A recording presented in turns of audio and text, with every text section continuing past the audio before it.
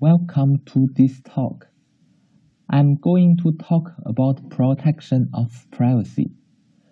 This paper is a collaboration between Tianjin University and the University of Chinese Academy of Sciences. I am the presenter, Baiyang Zhao. First of all, to introduce the background. With the development of the network, the increasing number of apps, people's lives are increasingly dependent on smartphones. All kinds of personal information are collected by apps. There are more and more privacy issues. There have been many reported incidents of privacy in recent years, such as a Chinese app called Zao has proposed a privacy policy that is a very clear violation of users' privacy. In order to solve the privacy issues, various countries and regions have introduced some laws and regulations. The most famous of which is the EU's General Data Protection Regulation, that is GDPR. The GDPR is famous mainly because of its strong fines. The serious violations will be fined 20 million euros or 4% of total global income of the previous financial year, which is higher. And the internet company, that is Google, have been fined 20 million euros by GDPR in 2019. The privacy policy of Zao is in serious violation of the GDPR, and a snippet of its privacy policy is shown in the text box. The left side is the GDPR regulation of this snippet violate, and the two violated parts have been highlighted. This privacy policy violates the GDPR in some aspect, such as data retention period and the right of withdrawal. Privacy policy is the most direct way to show to users how their information is being used.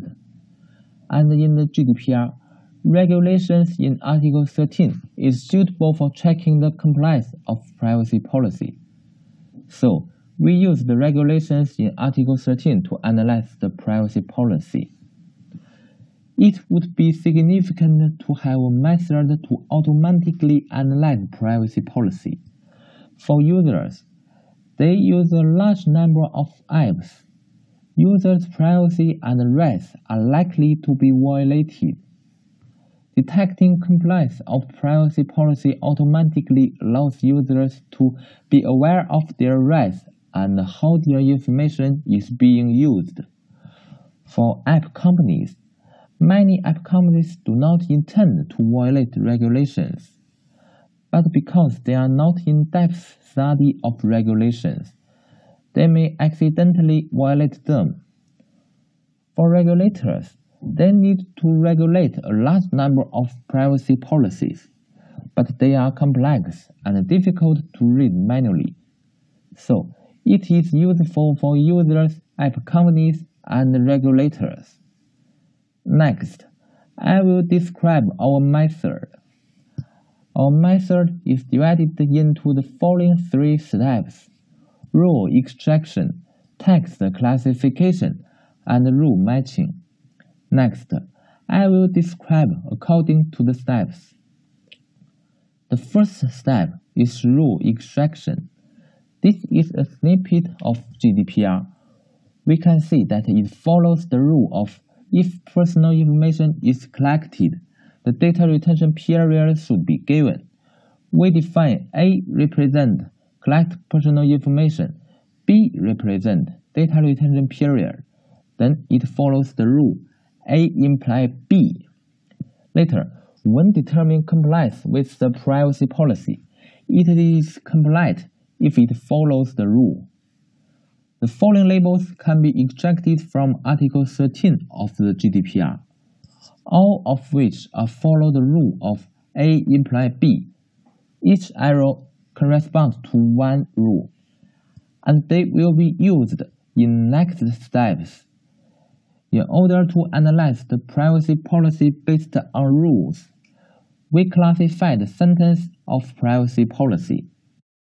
The second step is the text classification. According to these labels, the corpus was constructed. The sentences that do not belong to any of the labels are annotated as other.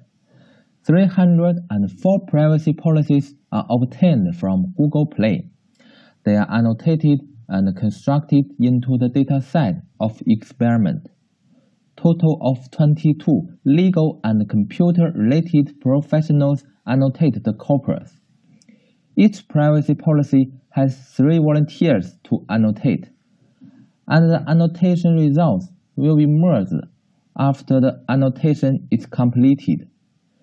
The information of corpus is shown in table on left. We can see the corpus is imbalance. The count of data processing purpose is 1839, and the count of right to access is 115. They are about 18 times different. After the corpus is constructed, we start train and predict the model. We have selected three models, Machine Learning Model SVM, Deep Learning Model LSTM, and the pre-trained language model BERT. We also use the weighted loss function to obtain better text classification results because of the imbalance problem of the data. Lambda indicates the number of various labels. After the training, each sentence prior from privacy policy can be classified into one of the labels. After getting the classification results of each sentence, we can come to the third step, rule matching.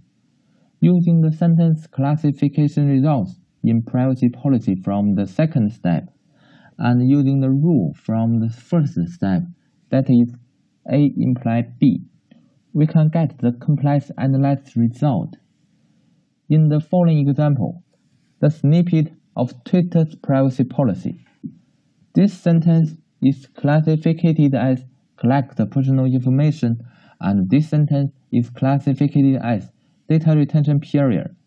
Then it can be clearly detected by the rule of A imply B and it can determine that the privacy policy is compliant on this regulation. Next, I will present the experiment result. We use tenfold cross-validation. The classification result is shown in table. We can see that BERT is better than LSTM, and they are both outperform SVM and the weighted loss function has a significant improvement on the classification of the model. After that, our method reports 1,180 issues in 304 privacy policies, and the precision of issues reporting reached 90%. The recall reached 89%. We also implement usability evaluation for user. This is our visual interface. This screenshot shows its analysis of Tide's privacy policy, which contains five parts, such as search box, the compliance issues detected in apps of the same category. For example, here is a proportion of various issues in Education apps. The Tide is the education app. The third part is the word cloud of the current privacy policy. And it can display the sentence of various labels in the privacy policy according to the color, so that it can be easy to read and check the compliance. The fifth part is all detected compliance issues and it can show the regulation of the corresponding issue violation and the correct statement corresponding to that issue. For the usability evaluation, we design four tasks from two privacy policies, which are Tide and Upload apps. Each task corresponds to one regulation in GDPR. We conduct the usability evaluation on eight volunteers and two internet entrepreneurs. They are divided into the experiment group and the control group. The experiment group reads the privacy policy with the assistance of our tool, and the control group reads the privacy policy without any assistance. The time spent on each task is shown in the table.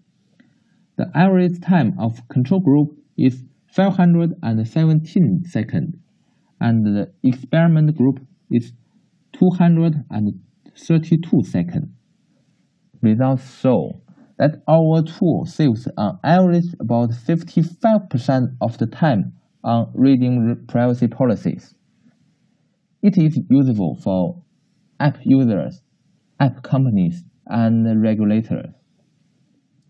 This is our presentation. Thank you.